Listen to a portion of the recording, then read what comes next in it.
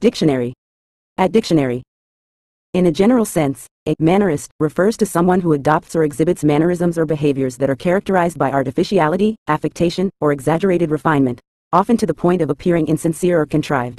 This term can apply to individuals who adhere rigidly to social conventions or prescribed modes of behavior, prioritizing formality and adherence to rules over authenticity or spontaneity.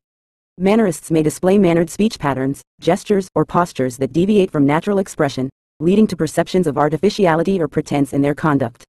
Additionally, in the context of art history, mannerist can describe artists or artistic styles characterized by deliberate distortion, exaggeration, or elaboration of form and composition, often as a departure from classical or naturalistic conventions.